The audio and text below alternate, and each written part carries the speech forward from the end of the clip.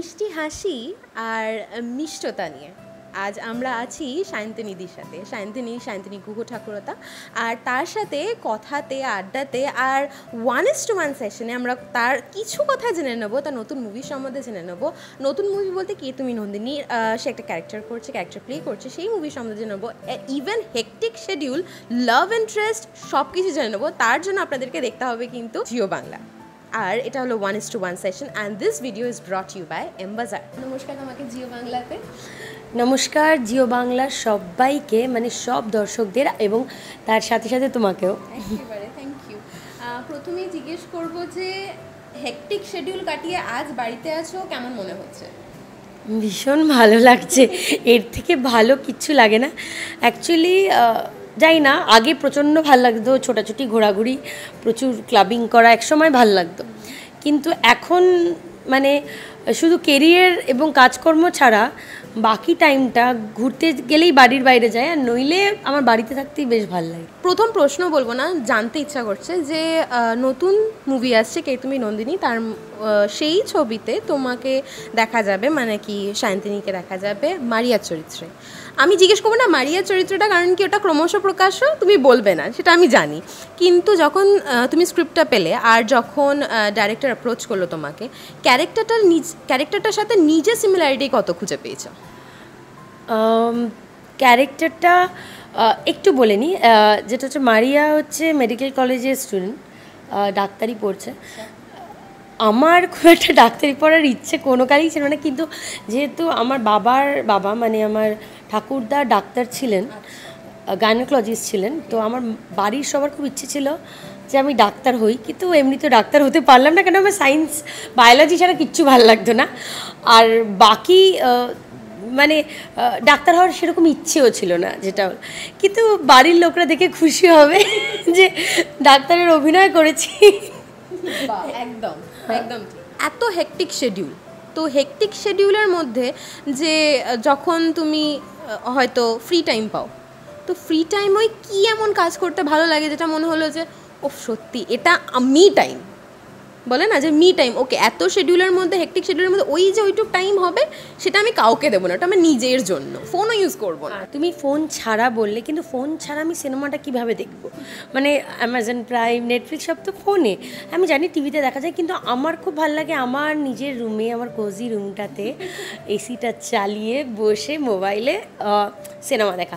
তো এবার যদি, ধরো তুমি বলে ইন্টারনেট থাকল না মোবাইল নেই, তাহলে কি করব? তাহলে একটা জিনিস করব যেটা আমার খুব রিসেন্টলি আমার খুব একটা স্বভাব হয়েছে। সেটা হচ্ছে, আমি খুব নিজের ঘর ডেকোরেশন করতে শুরু করেছি। এইটা কিনছি, ওটা কিনছি, ঘর সাজাচ্ছি। তো এটা একটা হবি আর যদি বলো বাইরে যাওয়ার পারমিশন আছে, তাহলে সিনেমা দেখতে চলে যাব হলে দু হাজার নয় অনেক দিন আগেকার কথা।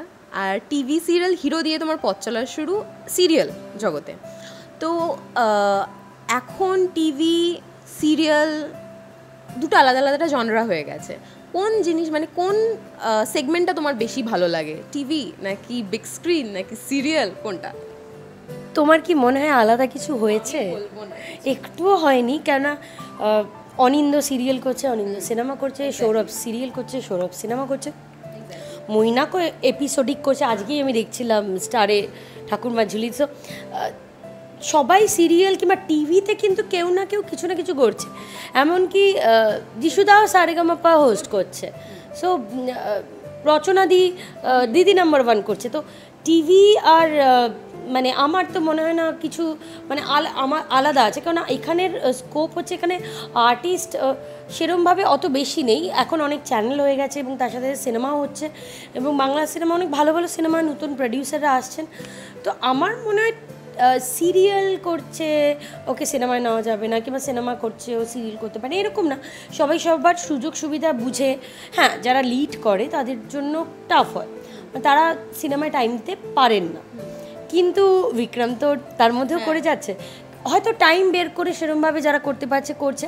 এটা না যে আমি সিরিয়াল করব না হয়তো করব কিন্তু এই মুহূর্তে আমি সিরিয়ালটা করতে পারছি না বিকজ আমি এপিসোডিক করতে ইন্টারেস্টেড আছি এক মাসের গল্প করতে ইন্টারেস্টেড আছি কিংবা এক সপ্তাহের গল্প। মানে আমি খুব একটা বড় লেন্দি চরিত্র করতে মানে ইন্টারেস্টেড কারণ বড় চরিত্র হয়ে গেলেই তখন কি হতো হঠাৎ করে সিনেমার ডেট চায় তখন মানে থাকে না হ্যাঁ। চেঞ্জ হয়ে যায়। চেঞ্জ হয়ে যায়। আচ্ছা এইবার কথা বলব লাভ ইন্টারেস্ট নিয়ে। বিকজ আমার মনে হয় যে সায়ন্তিনীদির কাছ থেকে এইটা না জিজ্ঞেস করলে আমার একটা ফেয়ার ডিল হবে না। তো কারেন্টলি লাভ ইন্টারেস্ট কি, কার সাথে অ্যান্ড কি নিয়ে? অ্যাকচুয়ালি এটা বিশ্বাস করবে কিনা জানি না, আমার কোনো লাভ ইন্টারেস্ট নেই। মানে প্রেমটা জাস্ট আমার হবে না মানে আমাদের হবে না আমার মনে হয়। জাস্ট কারণ আমি এত বেশি প্র্যাকটিক্যাল হয়ে গেছি মানে এরকম ছিলাম না প্রেম ছিল না একেবারে না বলব না প্রেম ছিল ভেঙে গেছে এবং তারপরে আমার মানে হয়তো সময় কোলায় না কিংবা হয়তো আমার মতো কোনো মানুষ পাইনি আমি যার সাথে আমার মানে মেন্টালিটি ম্যাচ করবে। নেক্সট তোমার তুমি অফ ক্যামেরা আমরা বলছিলাম ডিসকাস যখন করছি, তখন সায়ন্তিনী বলেছে যে অনেক, এখন অনেক শিডিউল মানে পর ব্যাক টু ব্যাক ওয়ার্ক আছে। তো ওই যে হেকটিক শিডিউলটা যদি আমাদের সাথে শেয়ার করো, আমাদের সাথে নট অনলি আমাদের সাথে, যারা দর্শক। সামনে বেশ অনেক কটাই কাজ আছে। কথা চলছে। একটা সিনেমা রিলিজ আছে। আমার আর্তনাথ আর্টেজের তো, ওটাতে একটা গুরুত্বপূর্ণ চরিত্র করেছে এবং ভীষণ সেন্সিটিভ একটা সিনেমা তো এই সিনেমাটা সামনে রিলিজ আছে। এছাড়া আমার একটা সাউথে কথা চলছে আমি সাউথে এবছর একটা তেলেগু ফিল্ম আমার রিলিজ হয়েছে অলরেডি লাস্ট মান্থ তো এইবার আরেকটা সাউথের কথা চলছে একটা কন্নড় ফিল্মের কথা চলছে। আর তাছাড়া একটা বাংলা সিনেমার কথা চলছে। আর সামনে যেগুলো বললাম বেশ কটা ইভেন্টসের কথা চলছে। কে তুমি নন্দিনী করেছ? তুমি? কে তুমি নন্দিনীতে তো মারিয়ার রোল করেছ? তো ডিরেক্টরের সাথে ইকুয়েশনটা কীরকম ছিল? আর বাকি কাজদের সাথে ইকুয়েশনটা কেমন ছিল? সব থেকে what was your favourite memories কে তুমি নন্দিনীর পুরো টিমটাই মানে একদম আমাদের সবার বয়সী সমবয়সী টিম পথিকৃত ভীষণই ফ্রেন্ডলি, ভীষণই, আমি আগে থেকে চিনি ওকে। মানে সিনেমাটা ফ্লোরে গিয়ে আলাপ হয়নি। তো পথিকৃত গুড ফ্রেন্ড তো ভীষণই ভালো। পথিকৃতের সাথে কাজ করা খুব ইজি আমার মনে হয়েছে। কিন্তু পথিকৃত ভীষণ সিরিয়াস শুটিংয়ের টাইমে ভীষণ সিরিয়াস থাকে। আর রূপসার সাথে আমার আগে পরিচয় ছিল কারণ যেহেতু ও সিরিয়াল করতে এবং বিভিন্ন অনুষ্ঠানে দেখা টাকা হয়েছে। তো she is a nice girl মানে ভীষণ মজা করেছি আমরা মেকআপ রুমে মেকআপ ভ্যানে আমি তোমাকে কিছু কোয়েশ্চেন্স জিজ্ঞেস করব, আর সেই কোয়েশ্চেন্সগুলোর মধ্যে ফলো আপ হবে হয়তো তিনটে পয়েন্ট রইল, বা তিনটে choose from any of this thing ঠিক আছে? তো ফার্স্ট কোয়েশ্চেনের জন্য রেডি রেডি তো তুমি? ঠিক আছে। ওকে লাভ ইন্টারেস্ট যদি বলো তাহলে লাভ ইন্টারেস্টের মধ্যে A chocolate B anything related to spicy thing C any or or something which is home cooked.